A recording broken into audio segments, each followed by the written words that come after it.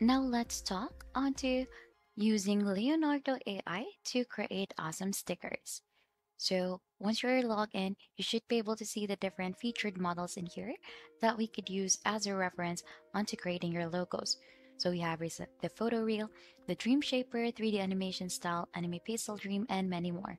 So you could scan all through all of this so that you should be able to see the one that you wanna have your logo would look like. So if you want it to be pixel art, you could choose pixel art in here and many more. Since I think this kinds of art, like pixel art, is actually famous for creating stickers.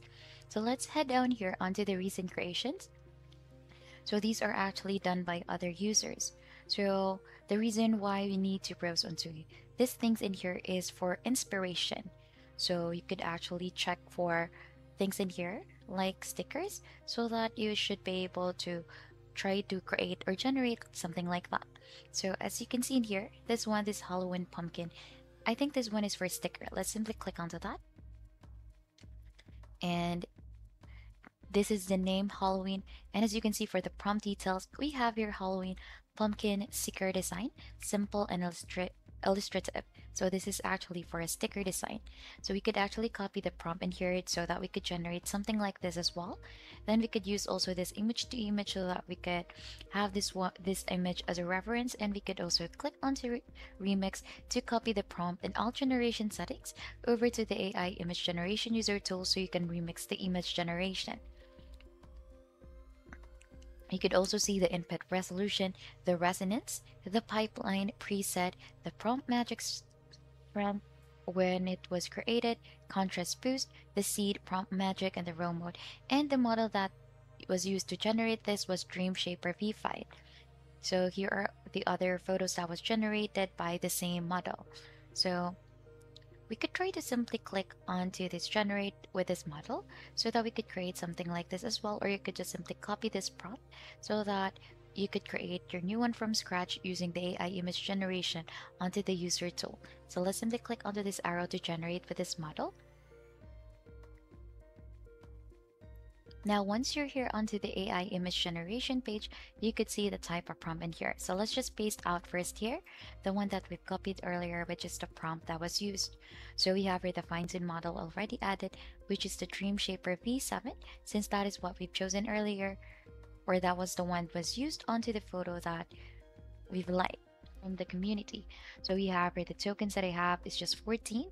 So if you want more, you could simply click on to upgrade in here, the number of images you want to generate per generation, the other features of Leonardo AI, the image dimensions that we have in here, you could customize it. You could use this ratio, the guidance scale, control net, tiling, image to image, and image prompt. So you could also drag and drop a photo in here to use as an as a reference onto generating. So we have our Halloween pumpkin sticker design, simple and illustrative. So what we need to do in here is we'll just, since I don't want a Halloween theme or a pumpkin one, let's remove this too. And let's just leave the sticker design simple and illustrative. So let's try to think on to something that we want to generate. So for example, we want to create a sticker of a pig. So let's add in here cute pig sticker design, simple illustrative, and you could also add in a negative prompt. So these are the things that you don't want to see in the image. You could simply input that in here so that you could add it. So let's just not choose that one out. So let's click on the generate and this will use four tokens. So let's try to see what it will give us. And as you can see, here are the photos that it generated. So I'm quite satisfied on how it looked like because it is really a cute sticker that we have in here. So you have the option to delete this image, download this, copy this, and also remove the background. So let's see the other one. So this is actually a really cute photo as well of a pig. So if you're not yet satisfied with this, you could just adjust the guidance scale in here or adjust the image generation in here, add more or add in a negative prompt so that you could generate again. So let's try another one. So let's add in here a cute flower then let's just leave the other things like sticker, design, simple, illustrative, and let's click on the generate and let's see what it will give us. Now here are the photos that it generated. So we have your cute sunflower. So I actually like this one. And let's add the, the other photo, which is this one. So I think this one is cute as well. So for this one, you can simply download it if you want it to be saved onto your device. So we could really say that Leonardo AI is really good onto creating these kinds of things. So let's try out one last time. Let's add in, in here a bird. And let's click on the generate.